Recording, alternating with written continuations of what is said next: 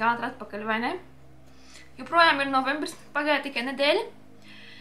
Bet pagājušā video filmēšanas, ne, bet um, augšuplādēšanas um, momentā es piefiksēju faktu, ka plus mīnus tieši gadu atpakaļ es palaidu ēterā savu pirmo rādījumu stāstu epizodi.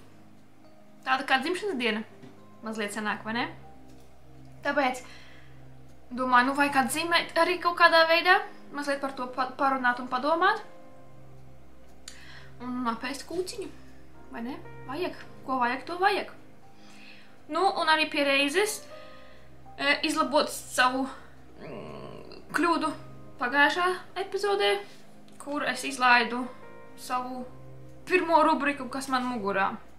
Tā kā jā, mini epizode šoreiz par mazliet dzimšanas dienu, par manu gadu un par šito vēsti. Tāda nu tā. Pagājuši gadu, 1000, 1900, 2020. gadā, 1. novembrī, es izlaidu pirmo epizodu. Video man jau bija pirms tam, mazliet dažādi tādi, nekādi. Bet nu tieši šo stāstāmo ap apraidi es izlaidu pirmo reizi, 1. novembrī. E, kaut kā neticam, ka gads jau ir paskrējis, pat vairāk, vispār neko nesapratu.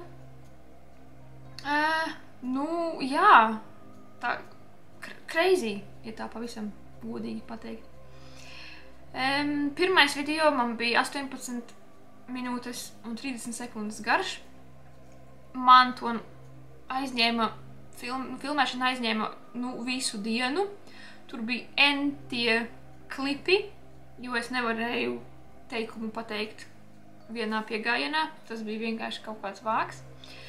Uh, un pēc tam montāža man arī aizņēma, man liekas, divas ar pusi dienas vai kaut kas tam līdzīgs. Nu, neatceros sen, bet visu, ko es varu pateikt, ka kopš pirmās epizodes man ir sanācis mazliet attīstīt savu filmēšanas un montāžas um, tempu, kas ir baigi forši. Um, uz doto brīdi tas pirmais uh, raidījums, pirmā epizode ir skatīta 497 reizes. Tas raki liels cipars, es jums pateikšu.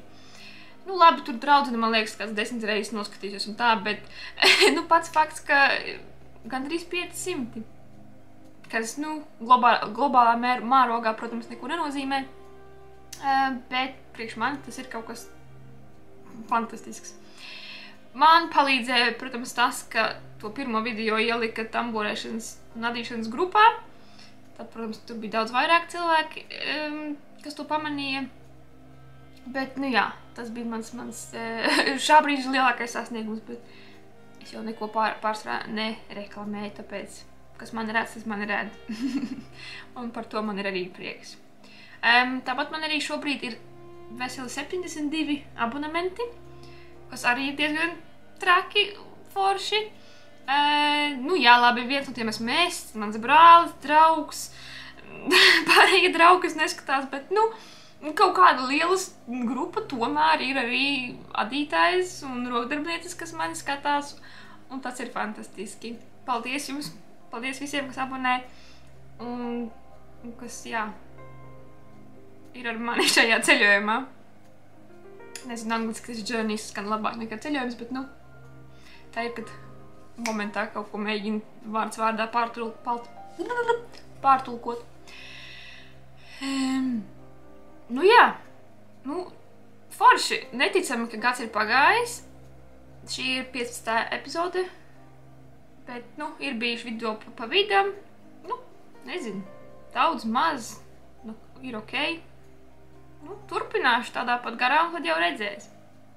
Um, kaut kā tas, kas nobumbulē savu to dzimšanas dienu, tas ir tā, nu, arī, nu, ko tu gads neko tur īsti nevar, nevar pateikt. Bet, nu, ir doma, ka, pieņemsim, ja es sasniegšu simts abonementus, nu, tad būs jādomā kaut kāda dāvana, kaut kādā veidā, kaut kas būs jā, jārīko. Varbūt varētu nokrasot savu dzīvi un uzdāvināt, aizsūtīt kādai no manām sekotājām, kas skan krīpī, bet, nu, doma ir skaidra. Nu, tas tāds plāns nākotnē. Ja? Nu, tā. Tas arī viss. Ah, un vēl kas man lika padomāt, ja atcerēties par savu pirmo raidījumu, ir mans tusok džemperis, ko, kā jau pieminēju pagājušā epizodē, es safilcēju. Un tas bija viens no maniem pabeigtiem darbiņiem, ko es atrādīju pirmajā raidījumā. Un tad, nu, joka pēc, re, kur ir mans tusok džemperis. Nu, kamerā šobrīd nu, var saprast, ka tas nav mans izmērs, vai ne?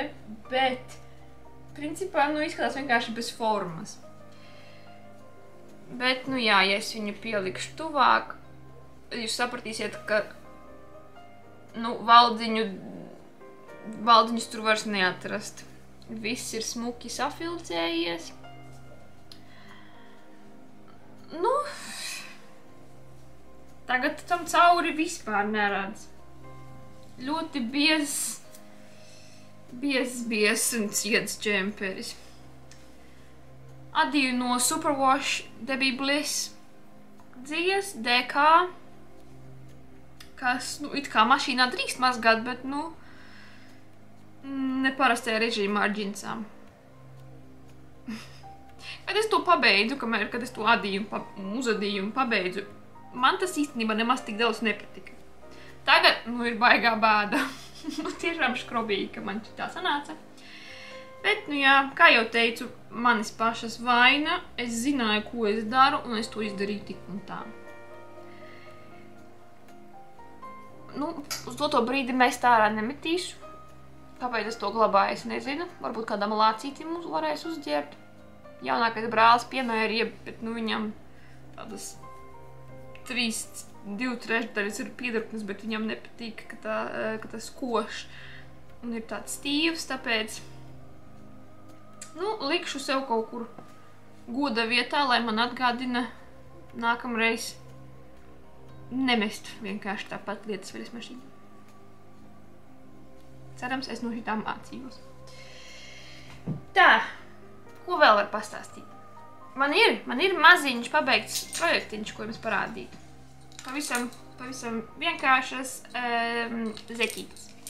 Tā te ir tā dzija, ko brālis nokrāsoja pats un saliku kopā ar West Yorkshire Spinners melno zeķu dziju, lai uztaisītu viņam smukas zeķītes.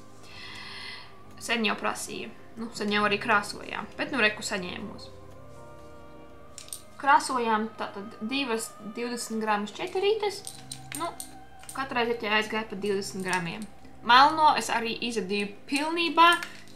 Īstenībā pat šitie te mazie melnie pungaliņi ir lietot, nu, es lietoju pavisam citu dzīvu. Kaut kādu atradu, nav nejausmas, kas tas ir, bet lai tik pabeigtu, lai tik viņam ielīstu. Um, šitā te daļa varēja būt mazliet īsāka. Iemesls tādam tieši garumam ir, jo es apadīju, kamēr man visi diedziņi atnāca līdz pat sākuma stadijai, nē, nu, sākuma punktam, lai tad es varētu nodīt papēdi un sākt bez, bez viega griešanas. Nu, cerams, es kaut ko saprotu. Kad tā zeķa ir izstietu, tā izskatās tiesi tīri proporcionāli, bet tā kā viņam kājiņa ir diezgan maza, viņu es tā noņemu, tad, nu, manuprāt, ir mazliet neproporcionāli. Bet, nu, principā, nu, zini, siltās ziemas zeķes zābakā peņo derēs. Tad, nu tā. Ļoti, ļoti forši. Man patīk, viņam arī patīk, viņš jau redzēja, viņš jau nevar sagaidīt, kad es tās atdošu. Nu, man vajadzēja jums parādīt, un tad varēšu atdot. man ļoti patīk tas helical knitting, Un man ļoti patīk, kā izskatās, um, kad tu adi tādu kā uh, paraipu dziju kopā ar vienkrāsainu krāsu. Man liekas, tas tā piedod baigi par šo efektiņu. Nu, Foršas mazas zeķītes.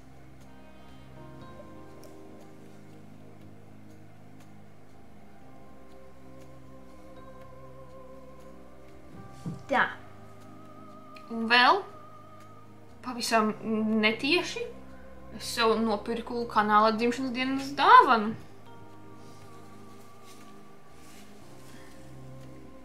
Četrpadsmit dažādas drops fices. Respektīvi, es nopirku pa vienai ficei no katra brenda, kas bija Kid Kido veikalā. Visi āda ar drops, un man arī vajag pārbaudīt, kas tas ir un kā tas notiek. Līdz šim es esmu lietojusi tikai Kid Silku no drops, un tad to manu otro um, to džemperi lielo foršo no Drops Air.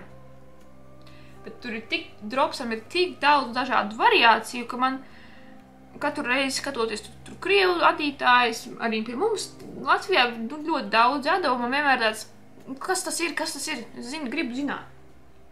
Nu, tad nu, es nopirku visu, ko es varēju nopirkt. Krāsas ņēmu pilnīgi tāpat uz. Ne, izvēlējos sev mīļāko no katras kolekcijas. Un, un, un nebija nekāda plāna, ko es ar tām darīšu. Paraudziņus taisīt, nu, vai kaut ko tādu. Man aizbēga fices. Bet iznāca tā, ka kopā man tomēr ir baigi foršie krāsu salikumi. Tāpēc kaut kas varbūt arī no tā visa taps. Tātad, nu ko, sāksim ar ko. Nu, re, kur. Drops Aļaska. Kas tas ir? Simtprocentīga vilna un diezgan bieza. 50 grami un 70 me metri. Kas man visi, visi kamolīši izņemot, piemēram, to kitsilku, ir 50 gramu kamolīši. Tas nav mans, mans iecienītākais dzies svars, jo, nu, ļoti maz ko var uztaisīt no 50 gramiem manā izpratnē, kas nozīmē, tur ir ļoti daudz dzīvu gali. Nu, man tas vienmēr kaut kā aptur mazliet, nu, tādas idejas. Tā, tad man ir Aļaska. Tad man ir soft tweeds. Smuka krāsa. Atkal 50 grami, 130 metri. Arī 100%, nē, nav gan ko es mūdu, tuvu nav. 50% vilna, 25% alpaka un 25% viskoze. Ļoti mīksta, patīkama un nu, jā, krāsa tāda dabīga. Tad es nopirku šitādu biezo Andes. Kas nu atkal, kur mēs esam? O, nē, es mūldu, paskaties, 100 grami un 90 metri, bet, nu, iedomājies, tas būtu 50 gramu kamols, protams, tad tur vispār būtu, man liekas, metrs. O, nu, labi, redz, es mūldu, es nezināju, ka man visas pat pa, pa 50, tomēr ir arī kur 100 gramīgi. Nu, labi, tagad zināšu. Ļoti bieza, piedāvā 9 mm adatas. Un kas tu mums esi? 65% vilna, 35% alpaka. Labi. Tālāk mums ir Drops Melody. Šitā, man liekas, ir mana mīļākā no manas kolekcijas. Viņa ir tā kā trusis. Ir dzija un tik pūkaina, ka mīksta, maiga, super. 50 grami, 140 metri. 71% alpaka, 25 vilna, 4 poliamīds. Krāsa man arī patīk tad auzu putras, ne, nezinu. Šitie, man liekas, ļoti smuki sanāk kopā. Un iespējams varētu būt, nezinu, cepura. Ir iespējams cepuru uzadīt no 50 gramiem. Mēģināšu. Tad jau redzēs. Tā, tālāk mums ir karizma. Šito es arī bieži redzu, visi jādara. 100% vilna, atkal 50 gramu 100 metri. 100% vilna, kā jau pateicu. Nu jā, nu, forša krāsina tāda. Tālāk mums ir alpaka, uh, brushed alpaka silk. Tādā kā ir zilā tonītī. Te būs 25 gramu uz 140 metriem, 77% alpaka, 23 cīts. Um, nav tik gaisīga kā kitsilks, bet mīksta, forša, pu, pu, pufīga. Mazliet šitās, man liekas, kopā sajiet, ne? Nē, varbūt tomēr nē. Labi, ir cits variants. Ah, re, kur ir? Baby alpaka silk. Šī tādu es principā pat nebiju nekur redzējusi līdz šim internetā. 50 grami, 167 metri, 70 alpaka, 30 zīdz. Nenormāli maiga, mīksta, superīga. Superīga zīda noteikti jūt. Ot šitie kopā sajiet. Varētu būt kaut kāda maza bērna cepura. Kad ir mazi cimdiņi. Man nav daudz ko gribas. It kā idejas ir, bet es nezinu, vai man pietiks. Un tā, kas man ir un klāt, toči negribu pirkt. Šitas man bija vienkārši tāds pārbaudījums. Tā, tālāk man ir alpaka. Šito es esmu redzējusi. Šito smuko purniņu. Krāsa superīga, vai ne? Man baigi patīk šitā krāsa. Tā, nu ko, atkal 50 grami, 167 metri, 100% alpaka.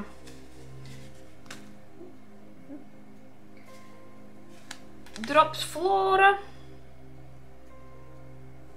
Smuka krāsiņa. Mazliet tievāka, 210 metri uz 50 gramiem, 65 vilna un 35 alpaka. Un šīs krāsiņas kopā baigi patīk. Varētu kaut ko strīpaini, nu tā kā zeķi uztaisīt. Nezinu. Tā, tālāk man ir Merino Extra Fine. Tādā krāsiņā, ko mēs te redzam. 50 grami 105 metri. Un šitā ir superwash. Značit var mazgāt. Te kaut kur iekšā, man liekas, viņam rāda, cik var mazgāt. 40 grādos. Bet atkal ne ar džinsām, protams, labāk. Bet, nu, var vismaz zināt. Tu var kaut ko dāvināt, uz, uzdāvināt, kaut kas kaut ko var mazgāt. Un tad ir līdzīga Big Merino, kas, man liekas, nu, nu ir arī tas pats simtprocentīga Merino Superwash vilna. Mm, 75 grami uz, nē, 75 metrus 50 gramos. Un tad vēl šitam klāt ir arī Baby Merino ir trešais, kas ir ļoti līdzīgs. Arī simtprocentīgi Superwash Merino vilna. 50 grami un 70, 175 metri. Tā, un tad man vēl ir viens Cotton Merino, kas nekad neesmu vēl darbojusies ar, kur ir vilna ar kokvilnu kopā. Ļoti interesē tāds savienojums. Arī var mazgāt viļas mašīnā. Un kas mums te ir? 50 vilna, 50 um, kokvilna. E, 50 grami, 110 metri. Tāda interesanta krāsiņa. Var redzēt atsevišķu to vilnu un koku vilnu. Nu, un tad es kaut arī jau biju lietojis pirms tam, nopirku arī vēl vienu kitsilku. Nu, vienmēr nodara. Šito jau gan jau visi pazīst. 75 mohērs, 25 zīds, 25 grami, 210 metri. Vot tā! Tāds man mazliet sanāca iepirkumu gros. Šitie trīs ir pavisam, manuprāt, vienādi, bet, nu, viņi ir supervaši tipa dzīja, tikai krāsiņas aizšķiras un biezumi. Varētu kaut kā varbūt sakomplektēt kopā kaut ko uztaisīt. Kā jau teicu, šitas, man liekas, izskatās diezgan forši kopā. Es domāju, ka kaut kas labs man no tā varētu sanākt. Kā jums šķiet? Vēl es zinu, ka tur, man liekas, simts citu dažādu um, brendu, nē, nu kā šitie saucās. Jūs man saprotat, es ceru. Un man, man ir plāns pamēģināt visus, nu tā, lai, nu, lai jau zinu, kas pa kam. Jo daudzām ficītēm cena ir ļoti, ļoti pie, nu, pieticīga. Kaut arī saku, ka īsti adīt nu, lielu apģērba gabalu no 50 gramu ficēm man negribētos, jo tie gali būtu, man liekas, nu, nebeidzami daudz un ļoti viegli var netrāpīt tajā krāsu salikumā un tādā garā. Bet, nu, ja nav citas iespējas, nav nemaz tik slikti, var, var paciest un tā. Un ar tām simtprocentīgām vilnām tu pat vari viņu tur sa, sa, sa, sa, sa, sa, un būt kā viens pavadiens, tā ka, nu, tā ka jā. Bet, nu jā, ilgi gaidīju, sen pasūtīju, bija baigās rindas omnivā, bet tik līdz vakar atnāca vai aizvakar, viss man nagi niezes, nevaru pirkstinies, nagi niez, kaut kas niedz, pai gribas iesākt. Nu, un būs, respektīvi, jā, cepures, ausu apsēji, varbūt cimdi, vajag pameklēt kaut kādus mazus vīsus. Um, aprakstiņus un tā. Un iespējams, ka tās būs pat dāvanas. Tā kā tā. Neslikti, vai ne? Labi. Un uz nobeigumu parunāsim par manu vēsti. Tātad, mēģināšu jums to parādīt.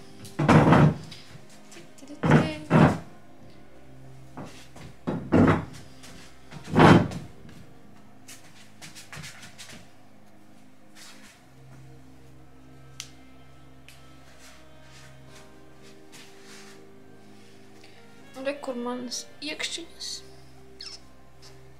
Ļoti patīk. Tā, tad manas krāsas. Um, adīta pa daļām un sašūt kopā. Un tad ir apadītas piedurknes ar parasto adījumu. Lakot adījumu, vai kā tas saucas? Adīts no Ujānica um, Petite Wool dzijas, kas ir mazliet tāda kā jādzija. Um, šitas nāca, um, tas pats brands, Vujāničs, ļoti, ļoti populārs, nāk no Spānijas, bet nu ir visu, visur Eiropā, Anglijā. Un tas bija tāds baigais bums vienu brīdi pasūtīt tieši komplekts, kur tev atnāk apra, apraksts, nepieciešamais daudzums dzīves un pat adatas. Um, šito gan es pirku pa, pati pa daļām, jo draudzene bija nopirkusi apra, nu, to komplektu, un tad iedeva man aprakstu, padalījās. Un, un es nopirku klāt dzīvi, bet nu, tieši no viņa veikala. Um, viens izmērs pēc apraksta bija, un viņa draudz nadīja tādu pašu, tikai melnbaltu, un viņa sanāca daudz mazāka nekā mana. Es ar savu blīvo adījumu, blīvo, brīvo, brīvo adījumu panācu ļoti forša izmēra tādu palielu vesti, žaketu vesti, Viņai tur ir vairāk tāds bezrocīša jāciņa. Tā kā viņa nebija pārāk priecīga par savu guvumu, es gan biju. E, krāsas, jā, ir ļoti foršas. Te ir melna, vīna, pelēka un balta. Jā, neatceros pilnībā, cik aizgāja un kas aizgāja man tajā laikā, kad es šito sāku adīt vai adīju. Principā es neko Nē, man nebija nekādu pierakstu, vienkārši adīju un miers. Tāpēc, nu, īsti daudz ko pastāstīt nevaru. Bet, nu jā, adās, e, adās, nu, re, kur ir redz pa valdziņiem, adījās šādā veidā. Un tad atsevišķi arī mugura nevis šādi, bet šādi. Un tad tu saliec un kopā. Pēc idejas tur apakšā vēl jābūt bārkstīm, kuras es, man liekas, uh, izlēmu tomēr nelikt, nu, respektīvi viņi nav, un vai arī man gribējās, un tas nebija jāaprakstā. Nu, vienā brīdī bija doma par bārstīm, tad tā pazuda. Simtprocentīgi alpaka dzīja, ar astotā izmēra adatām. Nu jā, nu, sas, sašuvuma vietas ir kā ir. Dzīja diezgan veļas un pūkojas un tā. Bet, nu, ir ok, man patīk. Ko vēl var pastāstīt? Apraksti no tās, tās firmas nu, nav paši labākie, jo viņiem, es nezinu, kā notiek testēšana vai nu, pārbaudas process, jo viņiem ir vienā, nu, bija doti grafiki abām malām un tad arī aizmugurēji. Un tad bija tā, ka vienā malā smuki sakrīt viss. Nē, otrādi šī te reku nesakrīt, jo te reku ir divi, divi melni, viens balts, un tad ir reku viens melns, viens balts. Bet otrā pusē viss sakrīt kopā pareizi. To es pamanīju tikai, kad jau sāku šūt kopā, un bija tāds, ak, nē, es kaut ko nočakarēju, bet tad atkal vēru vaļā mm, bukletu un skatos, nē, viņiem tur jau bija pieļauta kļūda, un man tas, protams, tajā brīdī nemaz nenāca prātā. Um, nu jā, kaut kā tā. Šī te vīna bordo krāsa ir mana otrā mīļākā krāsa, bet ko es esmu sapratusi, ka man ir daudz vairāk adījumu tieši šajā krāsā, ko jūs noteikti arī esat pamanījuši. Un, un vispār man drēbes ir, nu, respektīvi, bikses tādā pašā krāsā un tā. Bet mīļākā krāsa man ir zila. Zila, bet man nav, man ir tikai viens džemperīts zils. Tas ir, man, man kaut kas ir jāmaina, kaut kas ir jālabo. nu jā, nu es ceru, ka es jums pastāstīju pietiekami daudz par šo vēsti parādīt.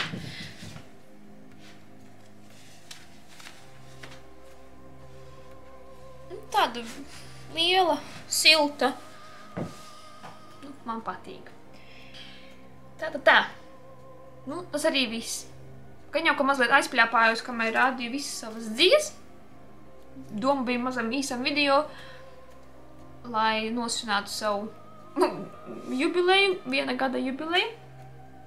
E, bet, nu jā, labi. Paldies visām tām, kas ir ar mani jau no pirmās dienas. es to ļoti novērtēju. Nu, tad jau, jā, līdz nākamajai reizei, lai, lai mums visām labi atdās un darbi iet uz priekšu.